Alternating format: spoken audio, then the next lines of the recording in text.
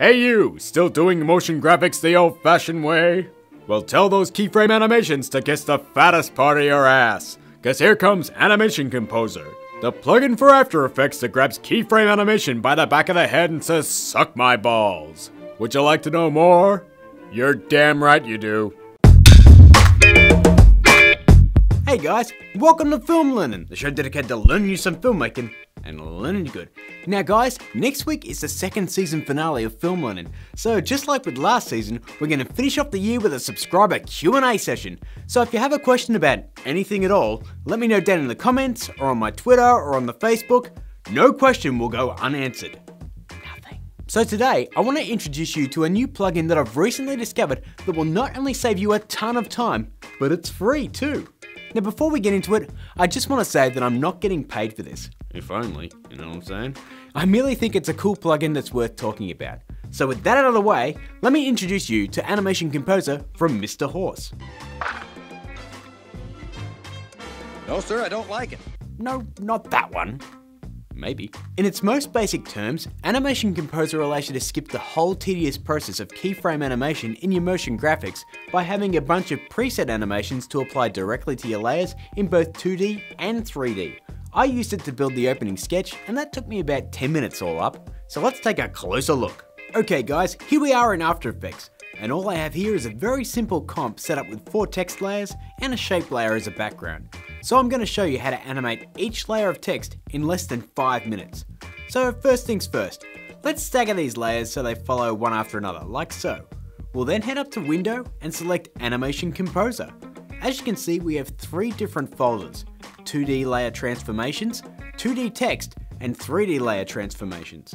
For our purposes, let's click on 2D text. As you can see, you also get a bunch of subfolders describing the functions instead of a whole bunch of presets cobbled together. And when you click on one, you get this nice little preview. Isn't that cute? Hmm, this one looks pretty good. So I'll just drag it into this section here and bam! Our text is now animated. Pretty cool, eh? Now say you want the animation a little bit faster. Just head down here and drag this arrow forward. If you want it slower, just drag it back. It's that easy. Now I think I might do all of my animations with this preset. So I'll just head back up, hit copy, select all of my layers and hit paste. I'll turn on motion blur for the comp and the layers and let's check out a preview. Done. If you decide you don't like those animations and you want to do some others, just select the layer, hit remove, find another one and just drop it straight in.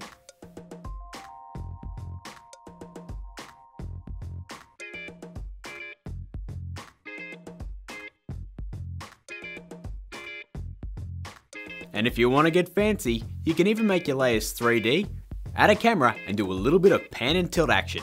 Not bad, eh? Seriously gang, there are over 100 different preset options here, so here's some examples of what you can do.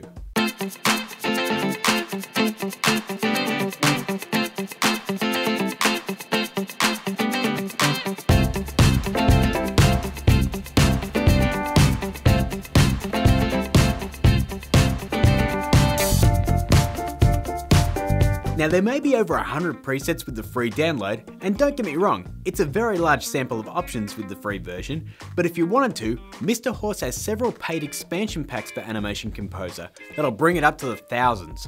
Feel free to check them out in the description below. So guys, that's a quick look at Mr. Horse's Animation Composer. It's a massive time saver, and if you have the money to spare, you can upgrade it to feature over 1000 preset animations to use in your work. Each of the animations are fully customizable, and on top of that, it's easy to use.